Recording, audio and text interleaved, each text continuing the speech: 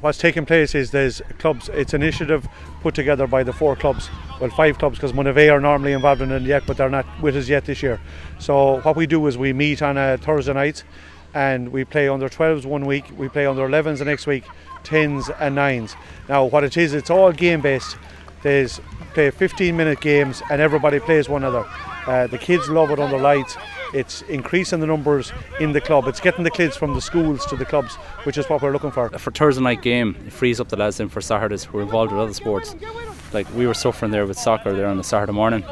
We'd end up on a Saturday morning going to a blitz with eight or nine lads. You see there tonight now we had 19, which was brilliant. If we didn't go to a Thursday night, our numbers would be slow, very low. But uh, the benefits I think of myself going on the on the midweek is you're freeing up the parents. It's only an hour in and out, and the clubs are all within 15, 20 minutes, which is brilliant. They're coming at seven, gone at eight, and I think it's it benefits us. It benefits, and the kids enjoy it. They really enjoy it.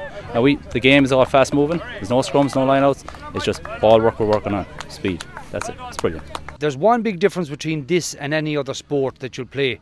Uh, this is one of the only sports that on a Thursday night that these kids will have played under lights. And I know it sounds stupid to the likes of us, let's say lads that have played under the lights and we've done this and done that and we're adults and things like that. But if you watch a gang of kids that have come up here to Tuam or to any other place and played under lights for the very first time in their life, to see them the following Saturday and they're still talking about it three days later.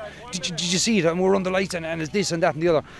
That is the thing that's really brought on numbers for us in Dunmore. It's not a case of having a big blitz and big expense and having to get in loads of volunteers and things like that. It's literally up here, get started at 7 o'clock and you're off the pitch by 8 o'clock.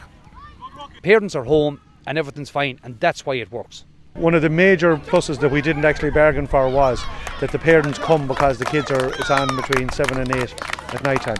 The rivalry is still as strong as ever on the field, but we're growing as a community off the field. The clubs are getting closer and closer together, so we can be we can be as tough as we want on the field, but we get on well then off the, off the field.